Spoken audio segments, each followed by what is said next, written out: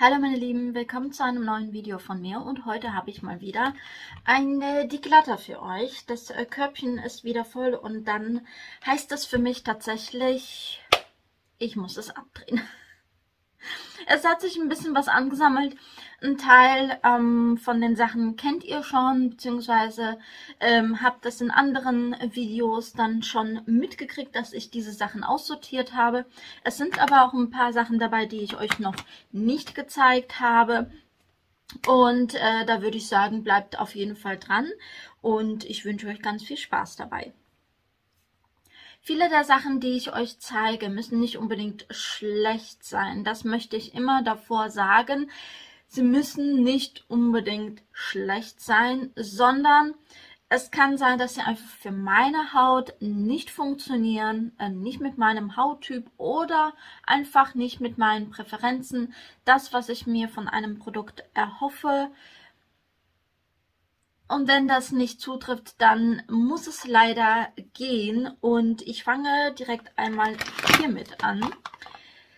Von M. Asam habe ich mir einmal diese Sonnencreme gekauft und habe wirklich sehr darauf äh, gehofft, dass die funktioniert mit meiner Skincare-Routine, mit meinem Make-up. Leider war das nicht der Fall. Ich habe sie ein einziges Mal benutzt und man konnte wirklich ähm, äh, meine Make-up-Schicht wirklich von, vom Gesicht abziehen. So war der Effekt dann mit dieser Creme. Fand ich nicht schön und ähm, ja, sie ist auch nicht gerade günstig. Ich habe sie jetzt nur zum Probieren gekauft, weil mein Sonnenschutz, den ich, ähm, den habe ich von Eucerin, dieses All Control, ähm, das ist bisher das Beste, was ich ausprobiert habe. Man möchte natürlich einfach nochmal schauen, was gibt es denn überhaupt auf dem Markt, was gibt es für Alternativen, die vielleicht auch ein bisschen günstiger sind. Und ja, das war leider nicht der Fall. Deswegen wird äh, diese Creme jetzt gehen. Dann habe ich aussortiert von Catrice diesen ähm, Bronzer hier. Das ist der Maxi Baked Bronzer aus dieser Limited Edition, ähm, angelehnt an den Joker. Ich habe das Gefühl gehabt, das ähm, wäre nicht so wirklich ein gebackenes Produkt, weil die Textur von diesem Bronzer ist recht cremig und da lag tatsächlich auch das Problem, denn mit Puderprodukten kann ich persönlich einfach deutlich besser arbeiten. Bei dem hier habe ich immer das Gefühl, ich, es lässt sich nicht verblenden. Ich kann es nicht mit dem Pinsel verblenden. Das fand ich richtig, richtig schade. Ähm, der Bronzer blieb wirklich an Ort und Stelle und es sah dann immer aus, als wäre mein Gesicht dreckig, als hätte ich Dreck auf dem Gesicht und keinen Bronzer. Ich habe sowas ähnliches, ja. Also ich habe sowas wie der hier, die Texturen sind sich sehr ähnlich, aber den von Physicians Formula, den kann ich wenigstens verblenden. Also er hat auch eine etwas cremigere Textur, aber sobald es aufs Gesicht kommt, sobald es auf den Pinsel kommt, dann wird es wiederum eher etwas pudriger. Und das habe ich halt bei dem hier sehr vermisst. Und ich muss sagen, der Farbton, der täuscht so ein bisschen. Ich habe gehofft, dass das so ein etwas kühlerer äh, Bronzer ist, war leider nicht der Fall. Das hat mehr so einen roséfarbenen, warmen Stich. Das mag ich persönlich jetzt nicht ganz so gerne, weil mein Hautunterton eigentlich nicht wirklich rosé ist, sondern äh, eher gräulich. Deswegen äh, war das nicht so wirklich mein Produkt. Ebenfalls von Catrice darf dieser Space Glam Highlighter gehen. Ich könnte ihn natürlich auch auf den Augen benutzen, weil da finde ich, ist diese Textur, diese Formulierung am besten geeignet. Ich finde, diese Formulierung gehört nicht auf die Wangen, weil auf den Wangen hatte ich immer das Gefühl, ich habe wirklich grobes Glitzer, was ich nicht wirklich gut verteilen kann, was sich gefühlt überall ähm, verteilt hat, nur nicht da, wo ich es haben wollte. Wisst ihr, was ich meine? Und dieses grobe Glitzer, das war kein es war kein schöner Schimmer. Es war einfach nur grobes Glitzer. Und da muss ich sagen, das hat mir absolut nicht gefallen an dem Produkt. Die Textur ist halt hier auch wieder etwas cremiger und sowas gehört für mich einfach in eine Lidschattenpalette und nicht als Highlighterform, ne? Genau. Dann habe ich eine Mascara aussortiert von Trended Up, die Lash Heaven Mascara und nicht, weil ich sie schlecht fand, sondern weil ich sie gut fand und wirklich bis zum letzten Atemzug wirklich benutzt habe, wo ich es wirklich benutzen konnte. Ähm, sechs Monate darf ich ja nach dem Öffnen diese Mascara benutzen und das habe ich auch getan. Und jetzt darf dieses Produkt gehen. Ich muss sagen, das ist eine der besten Mascaras, die ich jetzt im Laufe des Jahres getestet habe. Und ich muss sagen, die färbt nicht ab, die, also die stempelt nicht ab. Gerade mit meiner öligen Haut ist das immer so ein bisschen das Problem, dass ähm, die Mascara direkt hier unten landet. Ne?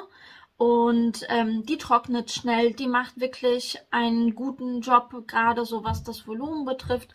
Es ist jetzt nicht so extrem überragend, dass ich jetzt sagen würde, das ist eine super geile Mascara, die ich mir immer wieder nachkaufen würde. Klar, wenn ich wirklich nichts anderes finden sollte, was mich überzeugt, dann werde ich sie mir nachkaufen, definitiv.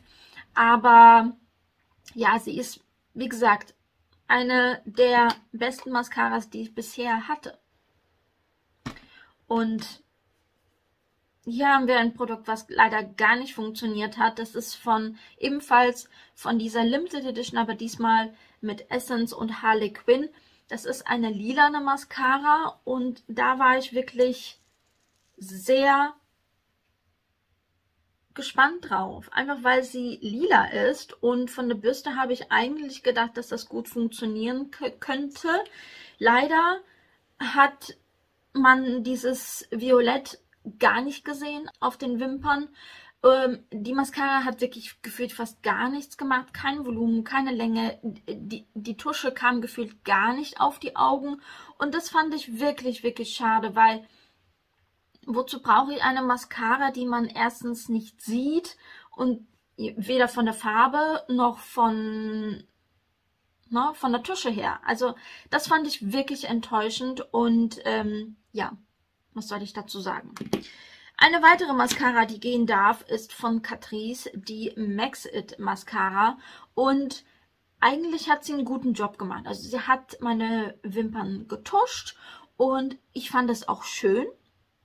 Nur leider hat sie mir abgestempelt und das Produkt wollte einfach nicht trocknen. Es wollte einfach ums Verrecken nicht trocknen. Und ich hatte wirklich, ich habe ja schon das Problem, dass ich halt diese Schlupflider habe und immer gucken muss, wie trage ich meine Mascara auf, ohne dass es direkt hier oben landet. Und bei, bei der hier, ich habe sie aufgetragen und normalerweise mache ich so, ich mache meine Wimperntusche und mache den Rest meines Gesichts wirklich fertig. Nachdem ich aber fertig war, war sie immer noch nicht trocken. Und das war, das ging gar nicht. Das, ähm, nee, das tut mir leid, aber das ging absolut nicht. Dann habe ich von XX Revolution einmal diesen Primer hier. Das ist der Bright Light Primer. Den hatte ich in einem Geschenkset. Das heißt, das bestand aus einer Lidschattenpalette und ähm, einem Lipgloss. Und ähm, bei dem Primer ist es so, ich habe ihn jetzt zweimal benutzt. Das erste Mal fand ich ihn gut.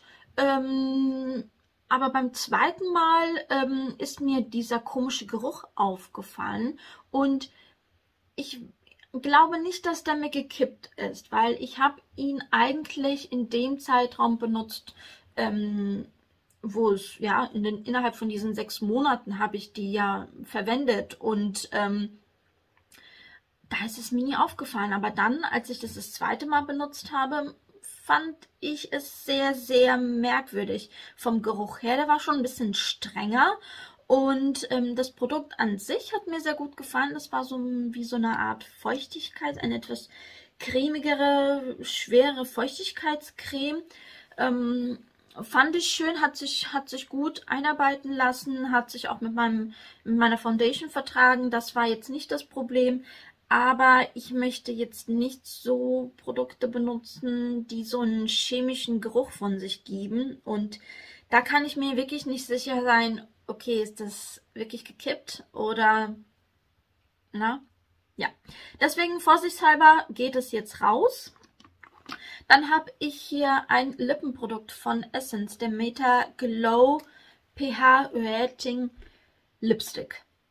Also der, ähm, sobald der auf die Lippen kommt, reagiert er mit dem pH-Wert und wird dann so pink. Die Farbe hat mir wirklich sehr, sehr gut gefallen. Also ich muss sagen, ich bin so ein bisschen traurig, dass ich den aussortieren muss. Aber was mich wirklich gestört hat, ist der Geschmack. Dieser Geschmack hat sich in meinen Rachen gelegt und da blieb er tatsächlich.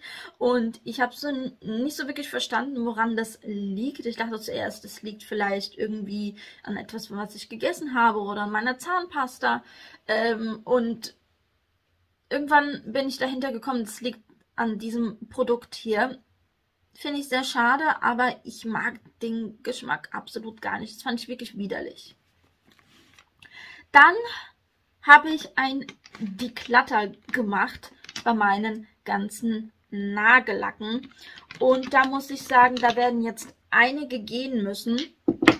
Die werde ich euch einfach nur mal ganz kurz in die Kamera halten. Da sind einige von Essence, es sind von Bell, ähm, einige von Rival Loves Me, von Got. Also das sind, ich zähle die mal kurz durch. Wie viele habe ich denn aussortiert? Es sind insgesamt 22 Nagellacken und deswegen war das hier auch so voll, weil das halt doch recht viel Platz wegnimmt. Und ähm, ich habe einfach festgestellt, für mich persönlich, dass ich einfach nicht mehr die Geduld habe, ähm, mich hinzusetzen und zu warten, bis ein Nagellack trocknet. Vor allem, weil man macht sich ja die Mühe und dann ein, zwei Tage später splittert der Nagellack ab. Und das ist etwas, was mich tierisch nervt. Ich bin so ein kleiner Perfektionist, muss ich sagen. Bei mir muss es wirklich passen und wenn es nach zwei Tagen schon wirklich aussieht, als hätte ich was weiß ich mit meinen Händen gemacht. Klar, ich habe einen Handwerksberuf da. Sehen meine Hände natürlich nach einer gewissen Zeit einfach nur dementsprechend aus.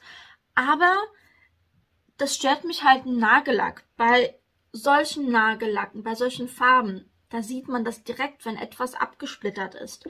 Und ich möchte einfach nicht mehr mehr so viel Zeit zubringen und zu warten und diese ganzen Dämpfe einzuatmen. Da bin ich tatsächlich mittlerweile nur noch bei meinen Manico UV-Nagelstreifen, weil die mir einfach die ganze Woche halten, ohne dass ich mich darum noch zusätzlich kümmern muss unter der Woche, dass ich noch extra Zeit aufbringen muss, um das Ganze dann nochmal zu korrigieren, nachzutragen und nee Leute, also es tut mir leid, das möchte ich einfach nicht mehr. Ich habe meine Nagellacksammlung wirklich auf ein Minimum reduziert.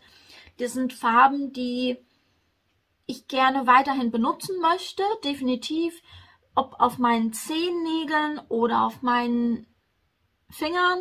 Ne? Ähm, das sind Farben, die ich durchaus immer wieder benutzen möchte und sie ungern aussortieren würde. Genau. Und bei diesem Nagellack möchte ich nochmal gesondert auf, drauf eingehen. Das ist der von Kiko. Ich hatte das erste Mal bei Kiko bestellt und muss sagen, ich war nicht von allen Produkten wirklich überzeugt. Bei dem ist es wirklich so, dieser Nagellack wollte nicht trocknen. Das ist ähnlich wie bei der Mascara. Das wollte einfach nicht trocknen. Und da war ich so am überlegen, weil die Farbe gefällt mir wirklich, wirklich sehr. Und eigentlich hätte ich ihn auch behalten. Allerdings, selbst wenn ich einen Topcoat drüber mache, geht nicht. Es, es will einfach nicht trocknen. Und dann hatte ich mir gedacht, okay, ich kaufe mir jetzt von Trended Up diesen Quick Dry Spray. Also ein zusätzlicher, ein zusätzliches Mittel, damit ich das auf den Nagellack sprühen kann. Was mir bei dem Produkt leider nicht gut gefällt, ist diese ölige Substanz, dieser, dieser ölige Film, der zum Schluss auf meinen Fingern bleibt. Und ich mag absolut nichts, was ölig ist oder was klebt auf, weder auf meinem Körper noch in meinem Gesicht.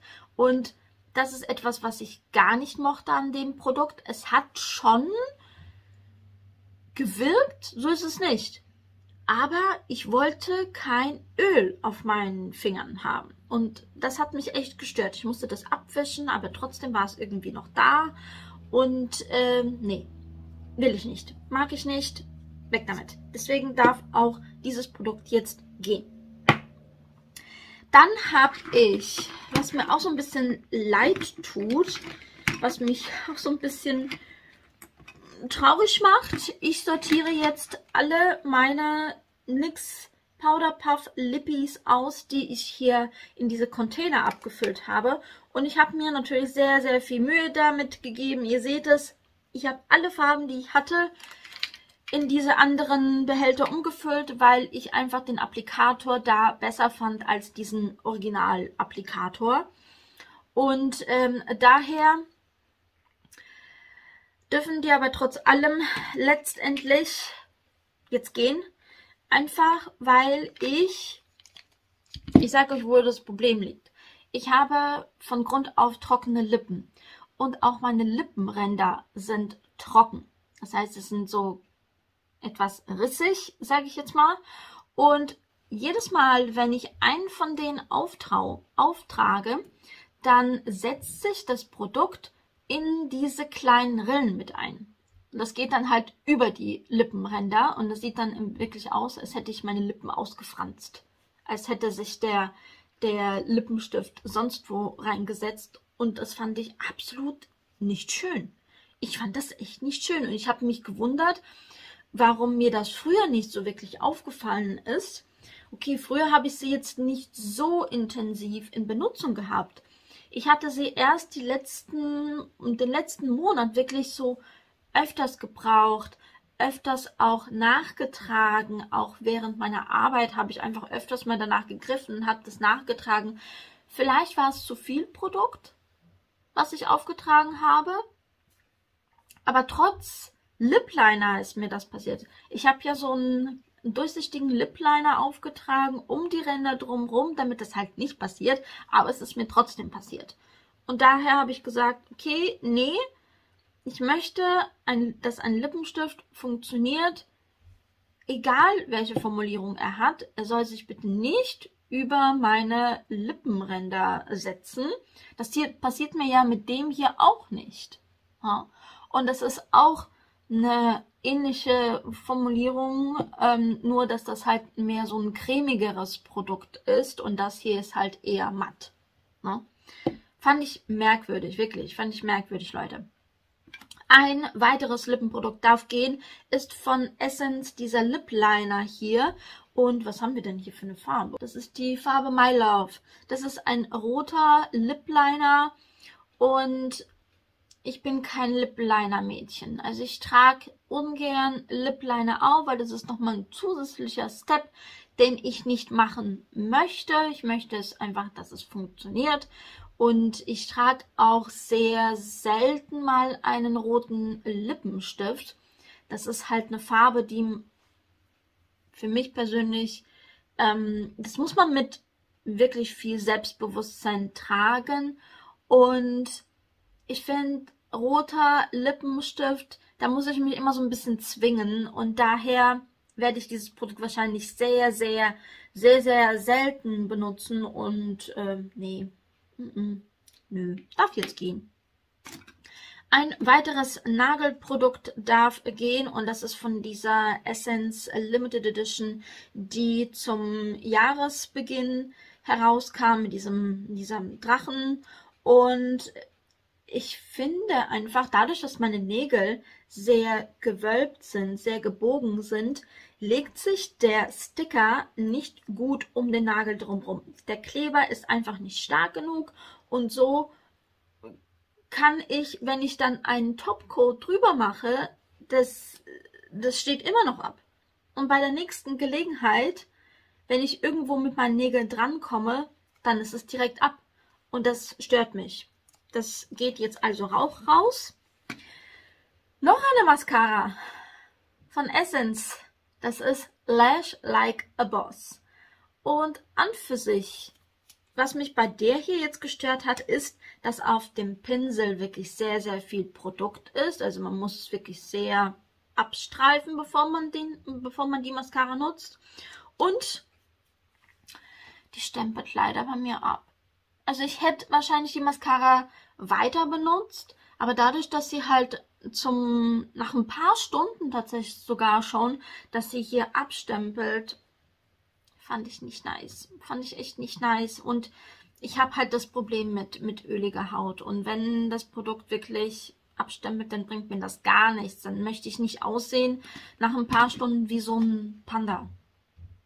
Nö, möchte ich nicht. Nee. So, das letzte Produkt ist von Maybelline und das ist einer dieser äh, Tattoo-Creme-Lidschatten und so sieht die Farbe aus. Ich habe mich dazu entschlossen, alle Produkte von Maybelline und von L'Oreal, die ich direkt auf die Augen auftrage, komplett auszusortieren. Ähm, ich werde jetzt nicht auf genauen Grund eingehen. Ähm, einige werden es wissen, andere nicht. Ich habe meine Gründe. Also ich werde nichts mehr benutzen, was von Maybelline oder von L'Oreal oder von NYX ist, auf den Augen. Da möchte ich gerne ein bisschen auf meine Gesundheit achten.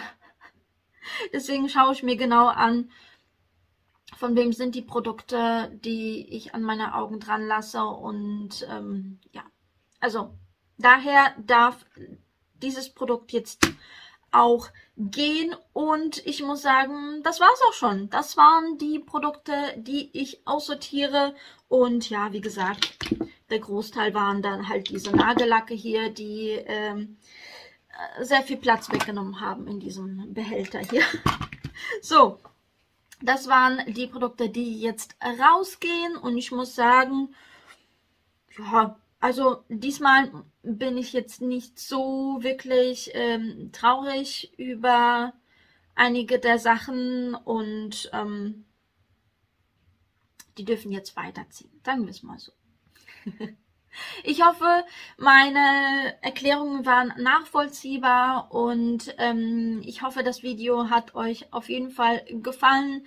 Wenn ihr einige der Sachen ausgetestet habt, dann dürft ihr mir das gerne in die Kommentare schreiben, dann können wir uns darüber austauschen. Bis zum nächsten Video wünsche ich euch auf jeden Fall eine schöne Zeit. Ähm, bleibt gesund, das ist das Wichtigste. Ich bin gerade so ein bisschen angeschlagen, muss ich sagen. Also vielleicht hört man das meiner Stimme an. Ich habe ein bisschen Halsschmerzen und ich hoffe, dass diese Erkältung, die sich da anbahnt, äh, nicht doch ausbricht. Wir werden sehen. Mal gucken. Auf jeden Fall, macht es gut. Tschüss.